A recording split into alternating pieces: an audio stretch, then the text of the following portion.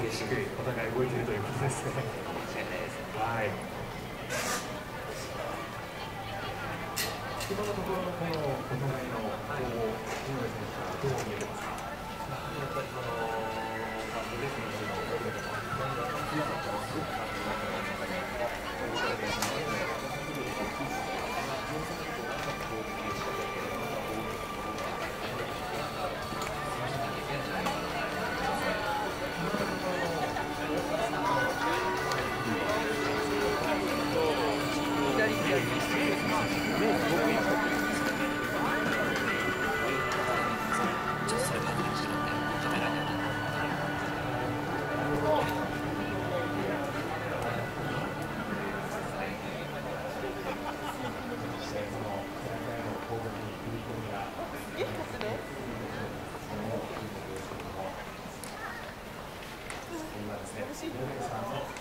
マスクの装着されて。いる目線カメラが外れてしまったので付け直しております少々お待ちくださいませで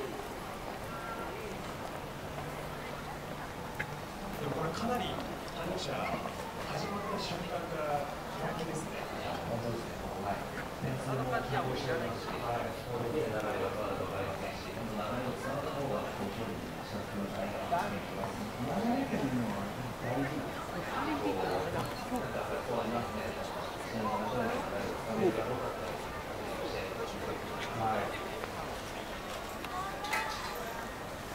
はい、得点がですね、ウェブ選手が7ポイント、そして太田さんが4ポイントを取っているという状況ですけれども、こちらは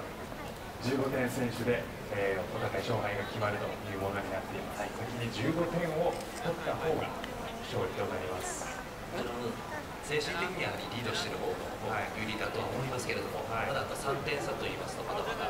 この先、勝負わからないので、まだ折り返しして、こ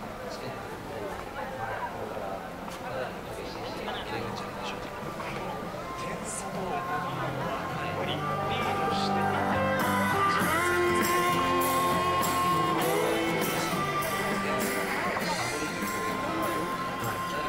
て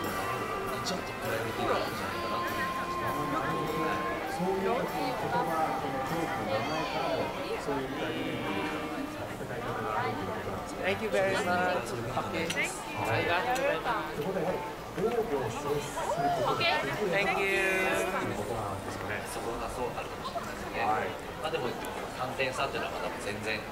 まだまだ勝負は見えないので、これから本当に楽しみです。返せる、はい、そういった試合もいくつもあると思います。そうですね。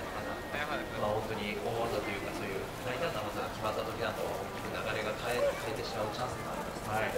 そういった技が決まるかどうかというところにも、勝負を分けるポイントになるんじゃないかなと思いますね。本日はフューチャーエクスペリメントボリューム2視点の拡張性を皆さんにお届けしています。